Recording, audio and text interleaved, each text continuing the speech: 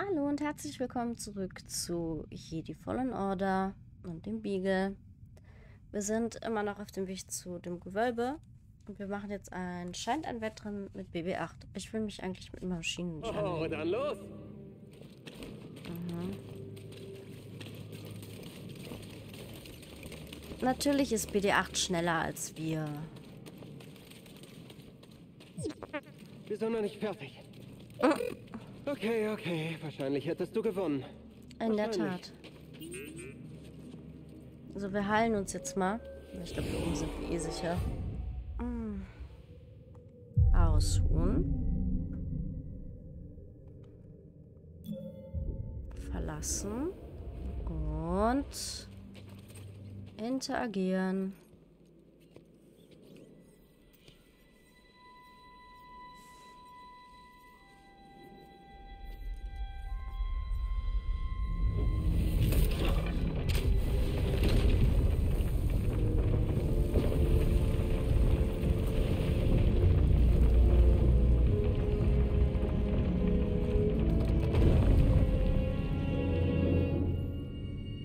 Gewölbe. Ich fand es übrigens sehr interessant, Keller hat es ja erwähnt. Ähm, sein Fokus auf die Macht ist äh, gestört. Ausgelöst in der Nacht, als Order 66 ähm, entstanden ist. Ich finde es schön, dass sie mit einbauen, du wieder? dass auch ein Trauma dazu führen kann, dass du die Macht, die du eigentlich besitzt, nicht Geht's dir gut, benutzen BD? kann. kannst. Gut gemacht. Wer du auch bist. Die Prüfung, die ich hinterließ, hast du bestanden.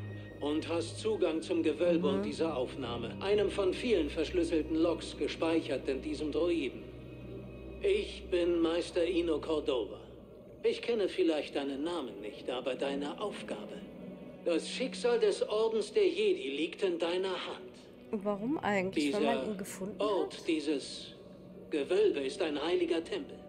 Erbaut von einer vergangenen Zivilisation namens Sepho. Ich meditierte hier und erhielt eine Vorahnung durch die Macht, eine Vision des Untergangs. Ich platzierte in diesem Gewölbe ein Jedi-Holokron. Es enthält eine Liste der Namen und Aufenthaltsorte junger Machtbegabter aus der gesamten Galaxis. Vor dir befindet sich die innere Kammer des Gewölbes, aber auch ein weiterer Test. Ich vertraue das Holokron nur jemandem an, der meinem Weg gefolgt ist und ihn auch versteht. Suche die versteckten Gräber der drei Weisen und lerne die Geheimnisse der Macht wahrzunehmen, so wie es einst die Sepho taten. In diesem Droiden findest du alles Nötige, um bei dieser Reise erfolgreich zu sein. Geh zur Heimatwelt der Sepho. Dort wirst du Frieden finden im Auge des Sturms. Viel Glück, Jedi. Und möge die Macht mit dir sein.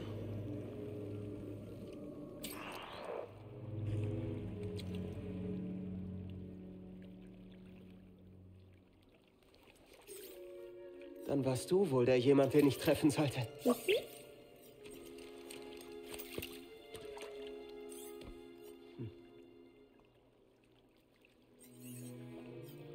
Weißt du, ich war allein und das. Tja, ziemlich lang. Ohne jede Aufgabe, nur versteckt. Das ist kein Leben. Nicht für ein Jedi oder ein Droiden. Hm. Vielleicht hat es hier recht. Das Verstecken hat ein Ende. Hey, kommst du mit zu ein paar Freunden von mir? Da freut er sich. Ja, hatte ich auch ja schon am Anfang gesagt. Es war einmal vor langer Zeit. Sepho. Ähm. Okay. Oh nein, das. Äh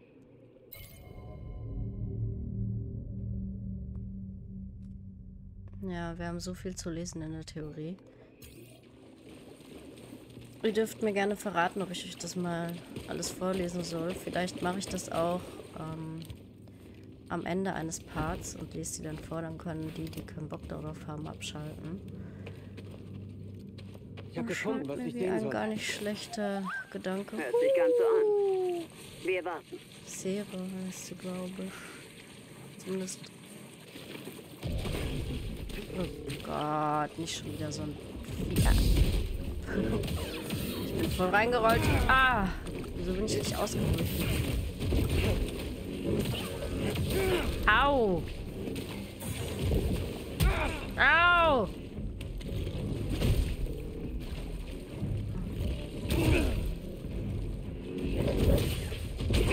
Ach, Kacke. Oh, das Spiel wird böse. Halte L1. Ja.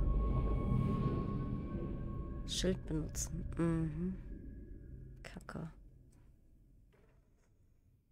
Und ich dachte, ich hätte schon was geleistet, weil ich eine so eine Kröte besiegt hatte. Naja. Mm, Kerl rutscht hier ziemlich lässig runter. Na, du dämliche Kröte. Oh, ist doch nett, dass ich wieder... Ah, ausweichen, ausweichen. Ah, warum ist der jetzt nicht ausgewichen? Mann! Ah, weich doch aus, du Depp!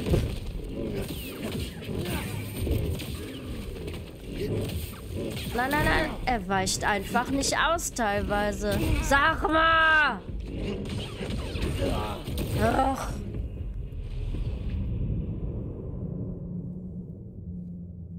Und das ist nur so eine doofe Kröte, ey. Was ist denn da falsch? Hm.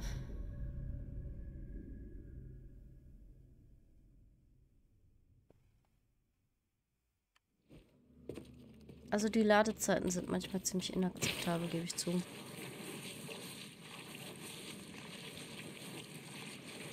Also für eine PlayStation 5 Version.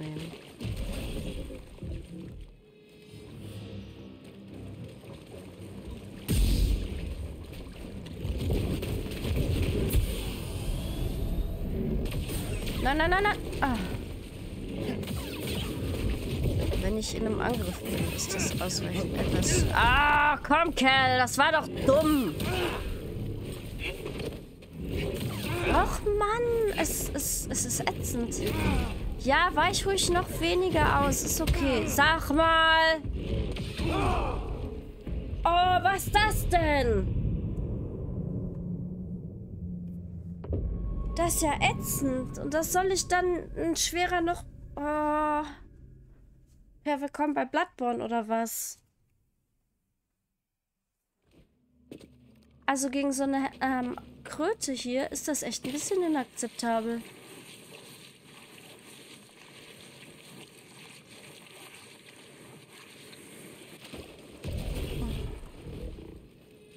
Noch einmal gegen diese dämliche Kröte. Jetzt komme ich nicht wieder weg, oder was? Ey, ich weich aus und diese Kröte trifft mich trotzdem. Was ist denn das für eine Scheiße? Nein.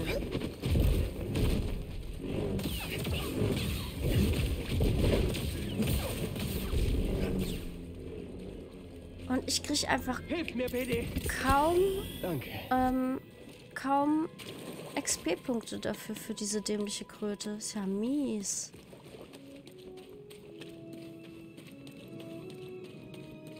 Na, da bin ich aber mal gespannt, wie das läuft, wenn wir dann, ähm, nicht mehr auf unserem Schutzplaneten sind, sage ich mal. So, was haben wir denn hier? Hm. Kann ich einfach da runter? Hm, warte mal, kann ich mal... Ne, hier passiert nichts, wenn ich das... Ach, da kann ich im Zweifel auch wieder hochklettern. Okay. Verlassene Werkstatt. Aber dahin geht's nirgendwo. Na gut. Ah, warte mal. Da will ich jetzt einmal gucken gehen. Die Tür ist von der Versperrt. anderen Seite verschlossen.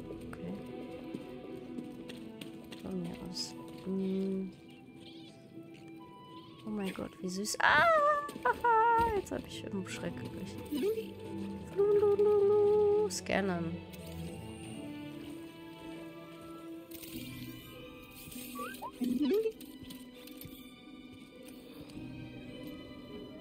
Mein Freund, Ja. anscheinend waren die Sepho interessiert an Datumir. Aha. Seltsam. Dass eine so friedliche Kultur diese Faszination hegt für einen Ort, der nur eins ist. Dunkel. Ich meine, Datumir ist ein Cis-Planet. Mm.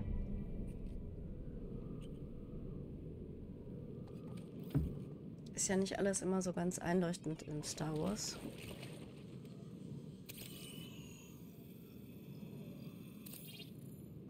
Ich glaube zum Beispiel, dass ähm, gut, böse in Star Wars immer so, so eine Sache sind, ne? Anakin wäre vielleicht einfach nicht böse geworden, wenn man ihm mehr Raum gegeben hätte, sich zu entfalten. Und ihm nicht ständig gesagt hätte, dass alles, was er tut, eigentlich scheiße ist. Die haben ja von Anfang an kommen sehen, na gut, das bringt mir nichts, dass er ähm, es nicht schaffen würde. Zurück wird schneller gehen. Und das haben sie an ihm ausgelebt. So, ey, du schaffst das nicht. Pech gehabt, ne? Schön die Arschkarte gezogen. Dude. Ha, du bist zwar der Auserwählte, aber wir glauben nicht an dich. Genauso. Und ähm, Padma hat ja immer an ihm geglaubt. Okay, Obi-Wan würde sagen, er hat auch an ihn geglaubt, aber der Rest nicht. Und Anakin war jemand, der immer sehr viel... Oh, hallo? Hi! Ah, guckt sie euch an! Hast du einen neuen Freund?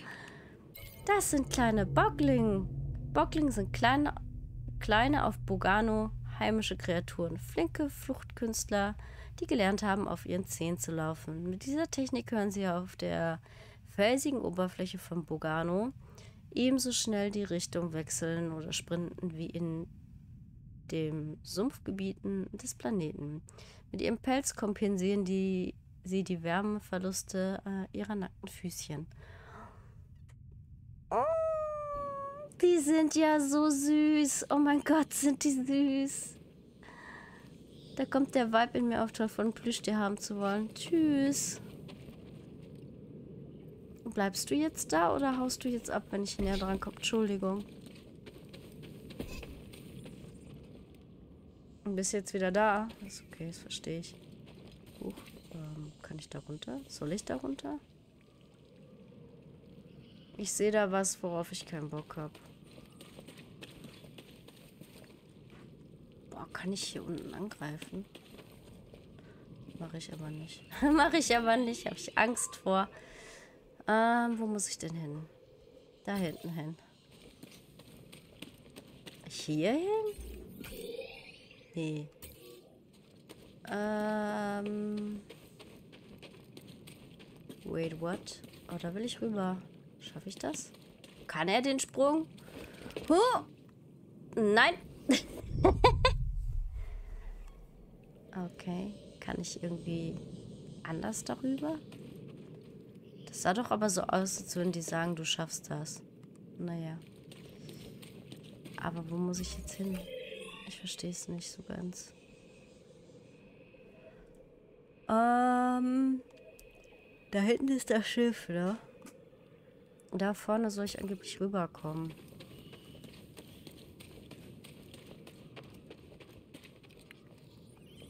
Warte mal. Ne, da kann ich nichts mitmachen. Na gut, ist gut. Mhm. Ich habe Fragen über Fragen.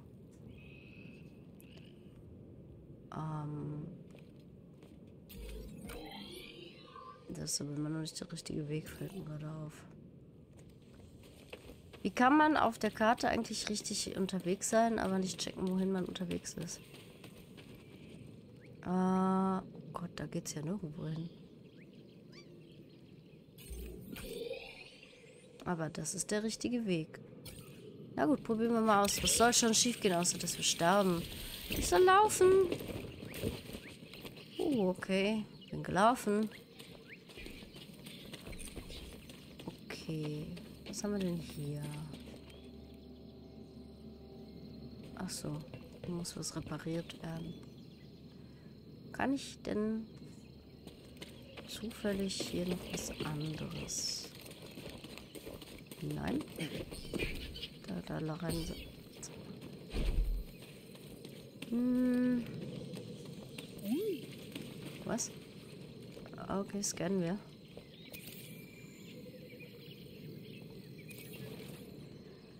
Bockling Gang.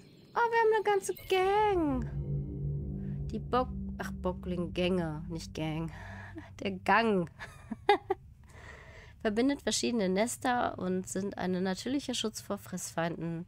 Bockling können täglich fünf Meter weit graben. Sie arbeiten in Hecheln oder großen Rudeln zusammen und verbringen etwa ein Drittel ihres Lebens mit dem Bau ihrer komplexen Gangsysteme.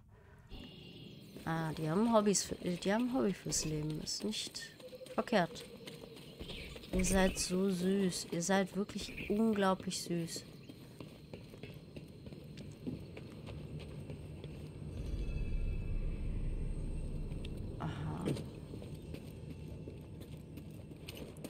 Wissen, was hier unten ist. Hallo, Kleiner.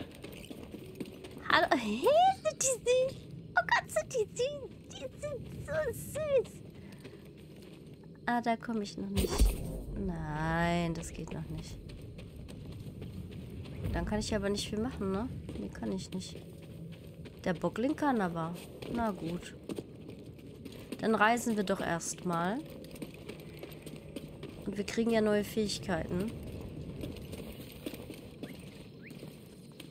Wenn wir mal eine Runde eine richtig gute neue Fähigkeiten aufgerüstet haben, machen wir nochmal einen Gang über die Insel.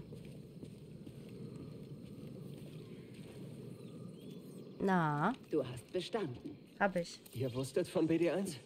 Komm an Bord. Wir reden drin. Oh, BD1, das ist Grease. Hey, Grease. Was ist das? Runter von meinem Sofa, runter von meinem Sofa. Geh weg, geh weg. Raus hier. Das ist BD1. Einer von uns. Mir egal, zu wem er gehört. Hast du eine Ahnung, wie schwierig es ist, Ölflecken aus dem Sofa rauszukriegen? Botulgewebe ist empfindlich. Eigentlich nicht. Ich hoffe, du hast noch was Besseres gefunden als diesen Droiden. Komm runter, Grease. Das hat er. Leg los, Kerl. Das Gewölbe stammt von einer alten Zivilisation, den Sepho. Ein Jedi namens Ino Cordova hat irgendwas darin versteckt. Was hat er darin versteckt? Ein Holokron aus den Archiven. Es enthält eine Liste machtbegabter Kinder. Die nächste Generation der Jedi. Ich wusste es. Ach, Cordova, du alter Narr. Ihr kennt den Mann? Ja, es ist ziemlich lange her. Ich war damals seine Schülerin. Cordova war ein Einzelgänger. Außer dem kleinen Druiden und mir weiß wahrscheinlich niemand von Bogano. Halt, Moment mal, Moment mal. Ein Holo, was? Holocron. Es speichert Informationen, aber nur Jedi haben Zugriff. Wartet kurz, ich glaube, ich habe eins hier.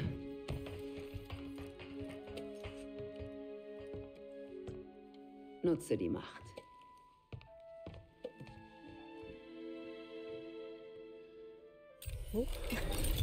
Hier spricht Meister Obi-Wan Kenobi. Huch. Ich bedauere berichten zu müssen, dass unser Jedi-Orden sowie die Republik gefallen sind. Mit dieser Liste von Machtbegabten könnten wir den Orden wieder aufbauen und das Imperium besiegen. Okay, kein Problem. Holen wir sie. Aber das Holokron ist tief im Gewölbe versteckt und wir müssen zuerst Cordovas Pfad folgen. Er hat was über den Planeten Datumir gesagt und über eine Sepho-Heimatwelt. Also gut, wohin fliegen wir? Ich frage nur, weil ich sonst was Schmackhaftes gebrutzelt hätte. Dazu, bevor es losgeht, muss ich noch was wissen. Warum seid ihr kein Jedi mehr? Ich hatte ein Erlebnis und sehe jetzt vieles anders. Darum habe ich mich von der Macht getrennt. Aber den Orden wollt ihr wieder aufbauen? Ich glaube, dass der Wiederaufbau des Ordens unsere beste Waffe gegen das Imperium sein wird. Und was glaubst du? Dass ich mich nicht ewig vor dem Imperium verstecken kann, also habe ich keine andere Wahl. Kerl, solange du lebst, wirst du immer eine Wahl haben. Seid ihr dabei? Sind dabei. Datumir oder Sepho? Du hast die Wahl. Ja, da haben wir's. Ich halte den Vorschlag, machtbegabte Kinder zu finden und zu versammeln, Hey Grease, was ist das? für schwierig. Hast du noch nie ein Terrarium gesehen? Schon, aber da sind doch sonst Pflanzen drin. Ich war damit beschäftigt, dich durch die Galaxis zu chauffieren. Das ist doch Aber du 1A könntest mir ein Rocket, paar oder? Samen mitbringen. Dachte, du hast die Natur. Wenn sie da draußen ist, schon. Aber hinter einer ausreichend dicken Umbara-Glasscheibe, da geht mir das Herz auf. Na dann. Gut, mal sehen, ob ich welche finde. Mm, mir ist schon klar, dass die Jedi alle denken, Anakin wäre tot. Kaum einer weiß, dass, ich glaube, keiner weiß, dass Darth Vader, also außer Obi-Wan, dass Darth Vader Anakin ist. Aber auch der dümmste Jedi dürfte mitbekommen haben, dass ähm, an der Macht des Imperiums ein echt heftiger Machtnutzer ist. Nicht nur die äh, dritte Schwester oder die zweite oder wird auch immer von 1 bis 9 sucht euch aus, die da unterwegs sind. Mm, Und die war ja schon heftig stark. Cal hatte ja kaum eine Chance gegen sie. Und mal ganz im Ernst, was will Cal einem erzählen? Er kann doch noch nicht ausbilden. Kann er nicht. Da ist er noch weit von weg. Wohin fliegen wir jetzt? Mm, Vielleicht hier? Ich glaube, wir gucken uns erst Datumir an. Aber wir können sehr wenig auf Datumir machen. Nee, wir machen uns erstmal an das Hauptziel und nach dem Haupt äh, diesem Hauptziel werden wir uns Datumir angucken. Machen wir nächstes Mal. Wir haben also einen Plan, den wir nächstes Mal beginnen, in die Tat umzusetzen. Ich halte ihn für waghalsig und vielleicht auch dumm. Aber gut. Ist ja eh immer so eine Sache mit Machtnutzern. Ich finde es, wie gesagt, sehr schwierig mit Gut und Böse und alles sehr schwarz-weiß. Das ist, glaube ich, so ziemlich der einzige Fehler, den Star Wars als Universum einfach hat. Da kann mir jeder auch sagen, was er möchte, dass diese Macht mh, gar nicht richtig ausgearbeitet ist. Dass bestimmte Sachen dann auf einmal direkt als böse gelten und wenn du ähm, die Balance nicht hast, dass du gut oder böse bist. Ich glaube, dass jeder Mensch sowohl die dass jeder Mensch hat eine Tendenz, ob er eher dazu neigt, böse Dinge zu tun oder gute Dinge zu tun. Und ich glaube, dass ein Mensch, der generell dazu neigt, gute Dinge zu tun, gar nicht mal so einen heftigen Kodex braucht, um unbedingt auf der guten Seite der Macht zu bleiben. Und ich glaube, dass ein Mensch mehr in der Balance ist, wenn er eben auch das Böse in sich zulassen kann, weil das gehört einfach mit dazu. Ähm, wenn man das Böse in sich, und ich sage bewusst das Böse, ihr könnt es nennen, wie ihr wollt, eure schlechten Seiten, nicht zulasst und nicht verarbeitet, könnt ihr die nicht überwinden, so doof es klingt. Aber das Problem bei Anakin war ja unter anderem seine Arroganz. Und er durfte seine Arroganz nie wirklich ausleben. Man hat ihm ja immer gesagt, ey, du darfst nicht arrogant sein, du darfst dich nicht gut finden, das machen Jedi nicht so. Hat er dadurch aber gelernt, seine Arroganz wirklich runterzuschlucken? Ich glaube, gerade arrogante Menschen, die von sich selbst viel halten, die werden mit dem Jedi-Kodex eher provoziert, noch schlimmer zu werden, als sie vielleicht ohnehin werden würden. Wenn ihr versteht, was ich meine. Na gut, jetzt habe ich ein bisschen über die Macht und Anakin geredet und dass ich glaube, dass der Jedi-Orden einen echt heftigen Anteil daran hat, dass er böse geworden ist.